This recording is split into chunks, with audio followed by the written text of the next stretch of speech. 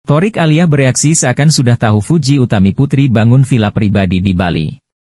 Torik Halilintar mantan kekasih Fuji juga berkeinginan sama seperti Fuji Utami Putri memiliki villa pribadi menyusul Fuji yang sudah rencanakan sejak awal.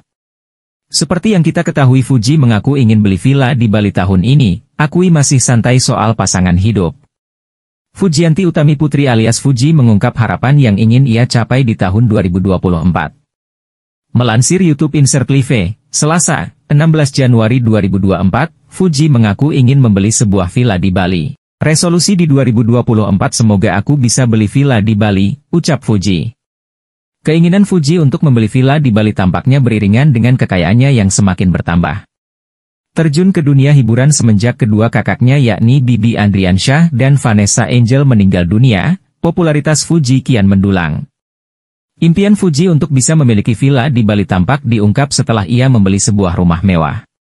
Di tahun 2023 kemarin, Fuji baru saja membeli sebuah rumah yang harganya disebut-sebut mencapai Rp 13 miliar.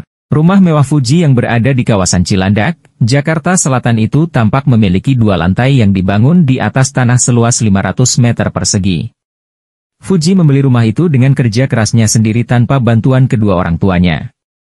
Rumah itu pun tak hanya terlihat mewah namun juga dilengkapi dengan sejumlah fasilitas. Mulai dari gazebo, kolam renang, hingga perabotan rumah tangga canggih seperti mesin cuci piring. Fuji sendiri mengungkap bahwa tahun 2023 menjadi salah satu tahun yang paling membuatnya bahagia. Selain itu Fuji pun bahkan turun langsung untuk memperhatikan masuk dan keluarnya keuangan. Semenjak kejadian itu aku jauh lebih hati-hati lagi monitor tim, kata Fuji di Pengadilan Negeri Jakarta Barat.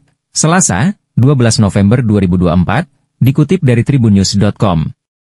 Jauh lebih galak juga, jadi ngeliatin banget lah detail-detail pengeluaran dan pemasukan, i terusnya. Seperti diketahui, sebelumnya ex-manajernya, Batara Ageng melakukan penggelapan dana hingga Fuji dirugikan Rp1, 3 miliar. Atas kasus ini, Batara Ageng difonis Majelis Hakim Pengadilan Negeri Jakarta Barat hukuman 2 tahun 6 bulan penjara. Walau uangnya tak kembali, Fuji mengaku cukup puas terhadap hukuman yang diterima ex-manajernya itu. Alhamdulillah semuanya prosesnya berjalan cepat, aku juga lumayan puas sama hasilnya, ujar Fuji. Uang bisa dicari lagi, tapi kan kalau keadilan sudah ya, kalau uang bisa dicari lagi insya Allah. Eh pungkasnya, selain itu selebgram Fujianti Utami atau Fuji kini tengah diisukan dekat dengan Fadil Jaidi. Terbaru, Fuji mendadak mengatakan rindu dengan Fadil Jaidi. Pada unggahan Fuji, Senin, 11 November 2024, ia memperlihatkan video ketika dirinya asyik mengobrol di acara pernikahan kakak Fadil, Jaidi beberapa waktu lalu. Mantan kekasih Tarik Halilintar tersebut nampak tertawa lepas ketika dirinya mendengarkan cerita dari Fadil.